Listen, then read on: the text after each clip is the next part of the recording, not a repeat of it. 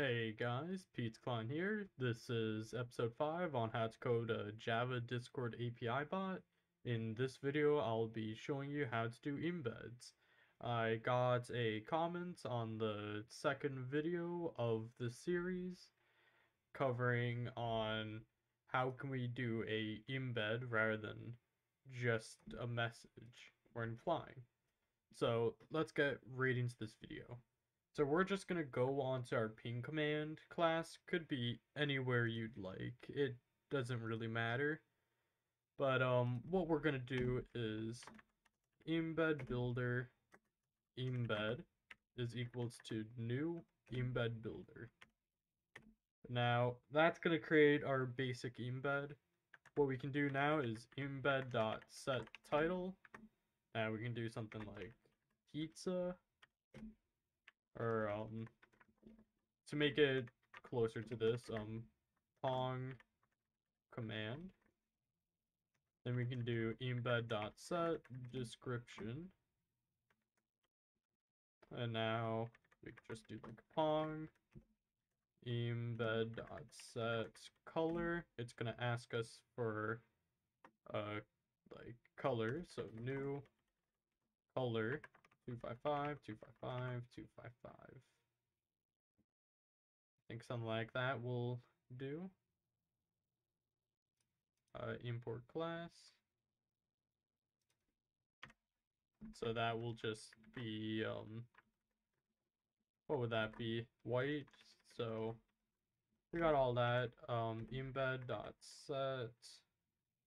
Then you can do footer, footer, and then to actually send the message out, you can do event dot, now you can do slash reply embeds, and then just embed dot build, and then dot queue it. Or what you can do is you can do embed dot replies, pong, I forgot to remove that. So embed dot reply pongs dot set. Oh, they apparently didn't have set embeds. Events dot get channel dot send message on dot set embeds. There we go. Embed dot build. Now if you want to send a message and then send a embed, you can do that. Um, all this is doing embed.set title is setting the title of it. Embed.set description will do that. If you're using IntelliJ, you can change the color nice and easily through this color wheel, which is really nice, not gonna lie.